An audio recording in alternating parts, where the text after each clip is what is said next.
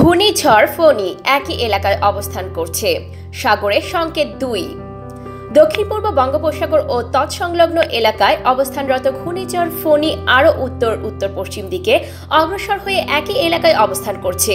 এটি আজ রবিবার সকাল ছয়টায় চট্টগ্রাম সমুদ্র বন্দর থেকে এক হাজার সাতশো পঁয়তাল্লিশ কিলোমিটার দক্ষিণে, কক্সবাজার সমুদ্র বন্দর থেকে এক হাজার ছয়শো পঁয়ষট্টি কিলোমিটার দক্ষিণে, মংলা সমুদ্র বন্দর থেকে এক হাজার সাতশো পঁচিশ কিলোমিটার দক্ষিণে এবং পায়রা সমুদ্র বন্দর থেকে এক হাজার ছয়শো পঁচাশি কিলোমিটার দক্ষিণে অবস্থান করছিল।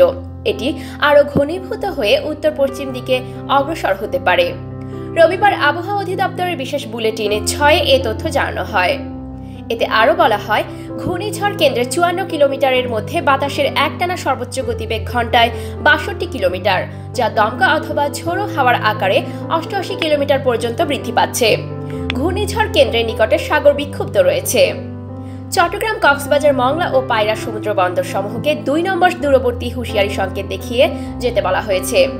উত্তর বঙ্গোপসাগর ও গভীর সাগরে অবস্থানরত সকল মাছ ধরার নৌকা ও ট্রলারকে পরবর্তী নির্দেশ না দেওয়া পর্যন্ত সাবধানে চলাচল করতে বলা হয়েছে।